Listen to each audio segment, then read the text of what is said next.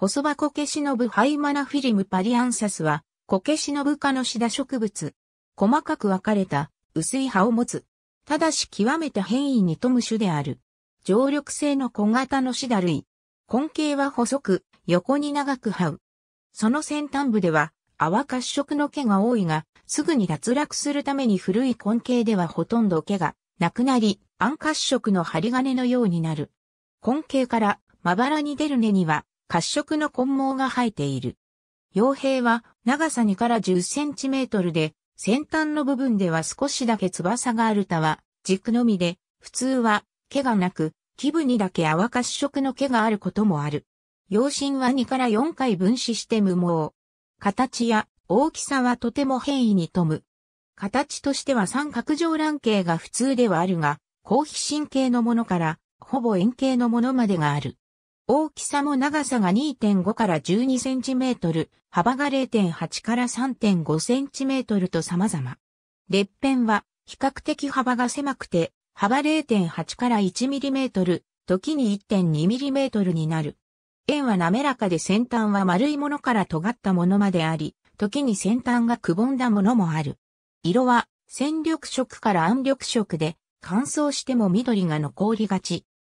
胞子脳群は裂片の先端に出て、包膜は二弁状で基部まで裂けており、その円は滑らかで先端は丸いものから三角状に、尖るものまで変異がある。胞子のお床は、棍棒状で長くは伸びない。本種は環境による変化が大きく、例えば乾燥した場所では、裂片の幅が狭くなるが、日陰の湿った環境ではその幅が極端に大きくなる例があり、藤子家忍の名で呼ばれたものはこれである。山頂などでは葉が小さくなる傾向がある。別名も数多く、岩付変著は、姫子家忍、藤子家忍、細葉姫子家忍を挙げている。日本では岩手県以南にあるが、日本海側では少ない。その環境も、低地から標高3000メートルの亜寒帯の岩の隙間にまで出現する。世界的に見ても、その分布は世界中の熱帯域を中心に各地の亜寒帯にまで及んでいる。樹幹の上や岩の上に生え、時には地上に出現する。密生してマット状になることも多い。蒸気のように分布が広い上に様々な環境に出現し、その形態も多様であるため、30以上の種が記載されており、それらすべてが単一の種であるかどうかの判断もできていない。ただ、岩付変調の段階では明確な区分ができないために、これらを種群としてまとめるしかないとのこと。例えば、姫子消しの部は、鉱山の日差しが強くて乾燥しやすいところに生じ、葉が縮れ、裂片が圧縮されている。藤子消しの部は、空中湿度が高くて、着生植物の多い森林で、岩焼きの上から垂れ下がり、その葉は皮疹型で長く伸びる。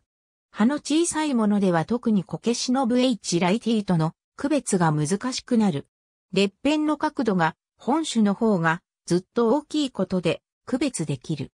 以下、種として岩付変著。P84 巻の P13 池畑。P38 池畑。P38 岩付変著。P84 鎧。P72 岩付変著。P84 この章は岩付変著。P84 池畑 P38 ありがとうございます。